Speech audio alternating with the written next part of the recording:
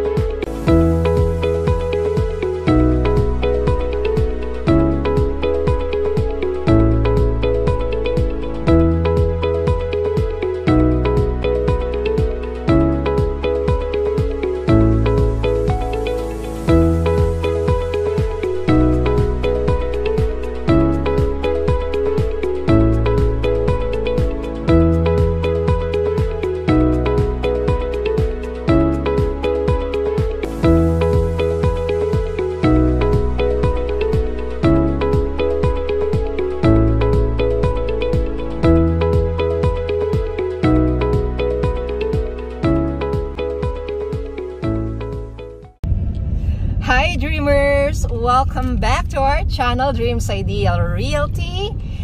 And today it's 5.36 in the afternoon. We'll be checking Subic Bayview Residences as requested by Miss Ems in the USA. So we're now here in Subic proper, almost near McDonald's, the new McDonald's. So, Subic Bayview Residences is roughly a 5 minutes drive from Walter Mart. That includes traffic already. But if there's no traffic, maybe it's only around 2 minutes. So, that's the new McDonald's. We are here in Subic Town proper. Oh, that's Pure Gold. Watson's.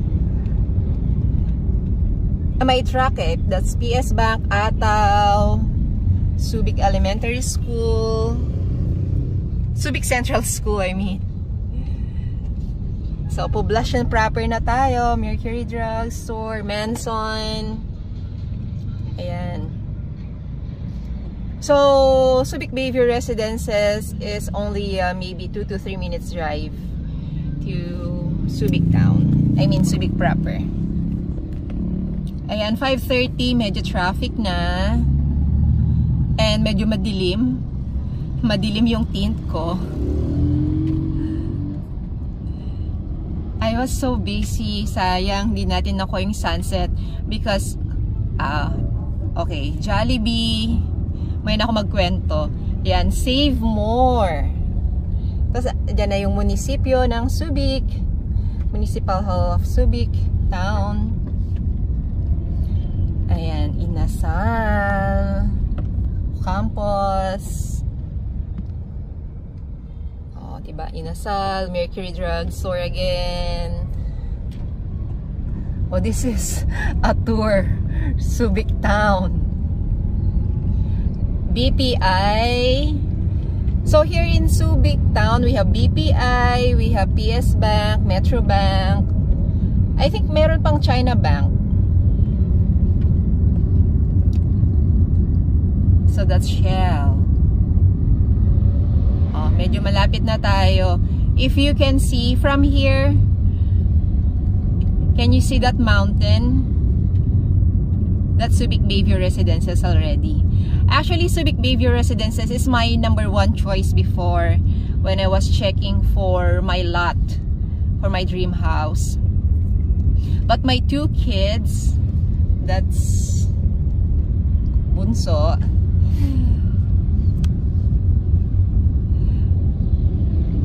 they preferred Alta Vista over Subic Bayview Residences. So this is my honest review. Review talaga. Or comparison. Subic Bayview versus Alta Vista. Um, for the view, the majestic view of the sea, panalo, winner, Alta is Subic Bay View really because the Subic Bay is so near. Kasi Kalapandayan lang to eh. Kalapandayan tawid ka nandyan na yung dagat. Okay? Versus Alta Vista medyo malayo na yung view mo sa dagat. Pero meron din pa rin naman. However development wise subdivision development wise malayong hindi kasi na-develop yung itong Subic Bayview Residences. Parang naiwan. Kasi ang may-ari, the owner, the developer, is a, the developer of Subic Bayview is, a, is the same developer. Anak dito, turn left. Same developer with Marive, uh, uh, yeah, dyan. Ayan, dito na tayo, sorry. Yan. Oh, this is going to Subic Bayview Residences already. Yan. Let's open.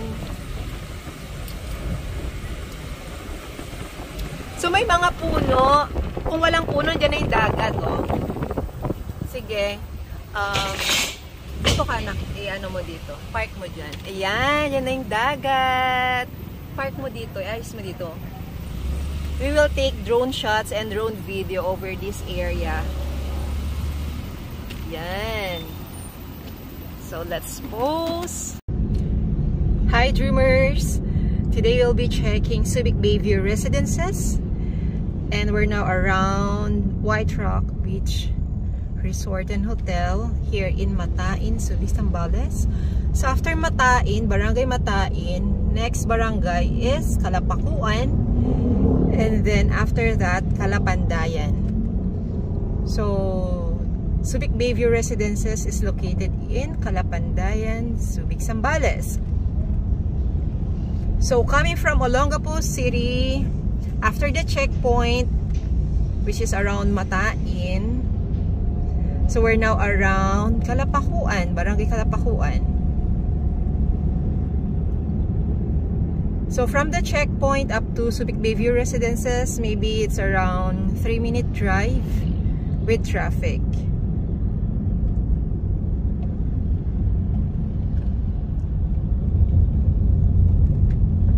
So this is Barangay Kalapakuan. So diba? Tour tayo. So that's PTT station. Bago lang yan. Kaka-open few months ago red doors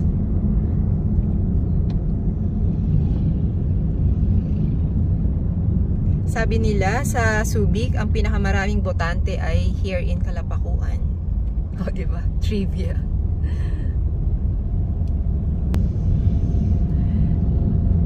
Ayan medyo malapit na tayo sa Kalapandayan. Actually on my left side nandyan na yung mga dagat. Mga beach na yan. Traffic. So on my right side, that's Kalapakuan Elementary School.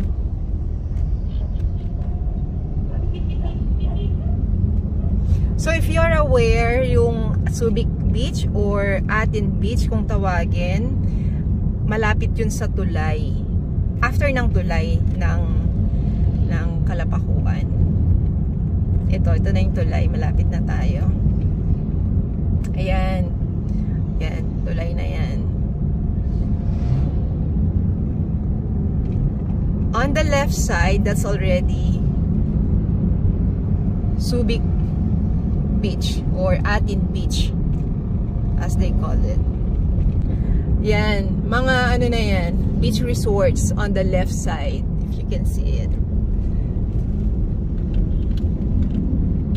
And on the right, ayan na, On the right side, yan na yung Subic Bayview Residences. So, baba ka lang from, kasi bundok yun, ba? So, baba ka lang, tapat mo, mga, mga beach resorts na. And, right side, pasok na tayo. Pasok na tayo.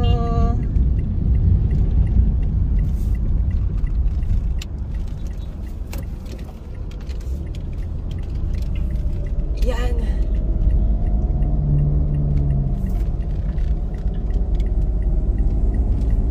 So, ito na yung papasok sa Subic Bayview Residences. Dito na tayo. Medyo elevated na siya. And this is our view on the right side. Yan. Subic Bay. O, diba? Ang ganda.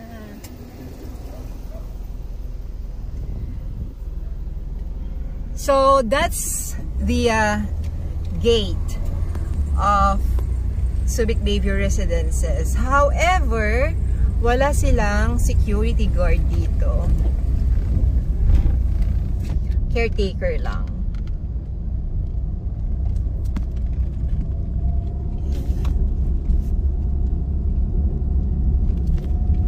So from the gate, let's go to the uh, lot for sale here.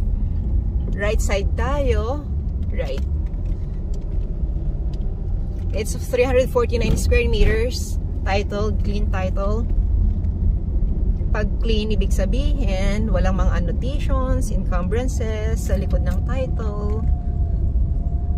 Ah, ayan. So makita nyo, medyo ano siya, mga da, uh, mga wala pang mga bahay, nabibilang pa sa daliri natin. Ito.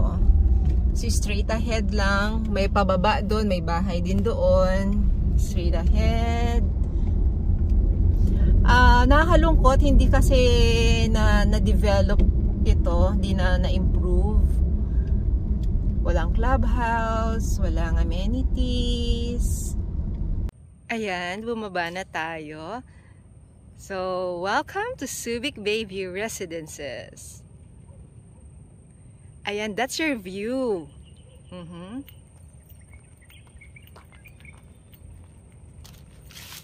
Ayan, can you see that? O, ba? Here in Subic Bayview Residences, I think mas maganda yung view compared to Alta Vista. Mas malapit yung dagat kasi mas malaki. Sa Alta Vista kasi medyo maliit na ang tignan. May may view pa rin pero medyo malayo na yung yung dagat. Unlike dito sa Subic Bayview Residences, 'di ba? Andiyan lang oh, laki-laki ng dagat na nakikita mo. So, let's check the 349 square meter lot for sale. So this is our that's our reference that house. So that house, meron siyang infinity pool. Napapansin nyo doon sa gilid doon. So pinapolish pa nila kanina may mga gumagawa. Yan. Okay? So yan may new construction. So kita nyo yung isang bahay doon, three story yung sa likod. And that one, ongoing construction din. I think may-ari niyan lawyer. Yan. So that's this is our reference na bahay. So from that three lots away, yung ika fourth lot, yun yung 349 square meter for sale. Okay? So bago natin puntahan yon kasi maraming matataas na puno and madamo, pero kung matatanggal lahat yung damo, katulad ito, yung bahay na to, yan, yan yung view. Yan mismo yung view mo. Mamaya try natin pasukin yung bahay kasi client ko rin yung may-ari. Para makit mas ma-appreciate nyo yung view. Kung maggagawa din kayo ng bahay na katulad niyan, kasi nilagyan niya ng infinity pool. So, puntahan natin yung 349. 1, 2, 3, 4. Tama. Ika-apat na lote. Diba? It's magfo 4 na. Medyo mataas pa yung araw. Kahapon nandito ako, kaya lang medyo madilim na. Ayan yung muhon. Ayan, hindi pa napapalinis. Last time napalinis, pero mabilis lumaki yung mga ito. So, banda dito. yung 349 square meters. Yan. So kung matatanggal lahat ng mga bamboo, mga puno dyan, andyan na yung ano, yung view mo ang ganda-ganda. So try natin pumasok sa bahay na yun para makita nyo yung, yung view nyo mismo ha. Saglit lang, post natin. Ayan, nakapasok ako. Kapasok ako sa bahay ng aking client. So, hello! Ang ganda. Ngayon ko lang nakita itong infinity pool. Meron ng, meron ng tubig. Last time, wala pa. O, oh, di? That's your majestic and spectacular view here in Subic Bay View Residences. Yan. So, gaga kung gagawa kayo ng ganito ring bahay, along this area, ganito mismo ang view ninyo. Ayan, ganyan siya kalapit. Ganyan kalapit yung view nyo sa dagat. Okay? Mas majestic ang view rito kaysa Alta Vista. Pero kung development-wise, subdivision development-wise, hmm, mas okay na malayo. Malayong mas maganda ang Alta Vista naman. Pero kung view yung pag-uusapan, sea view, sea view, and mountain view, winner ang Subic Bay View Residences here in Calapandayan. Okay? Yan. By the way, this property is also for sale. Message me magkano ni updated price. Kasi nung hindi pa okay yung pool, 18M. Hindi ko lang alam kung tataasan niya or what. Yan. Ongoing. May mga gumagawa pa rin. So, itong lote nito, 204, 250 or 240 square meters lang. The one for sale over there, yan, banda dyan, 349 square meters po yan. Ito talikuran, meron pa sa, iba naman yung may-ari sa likod. So, di ba ganun ang subdivision, talikuran. So, hindi naman kayo mabablock ng view kasi ang elevation ng, ng bundok pababa, sloping. So, malabong magkatakipan kayo, magkagawan kayo ng view. Kasi taas, bababa, sloping siya, bababa. Yan. O, so kung gani, may inspiration na kayo kung paano nyo gagawin ang inyong bahay dito sa Subic Bayview Residences. Okay?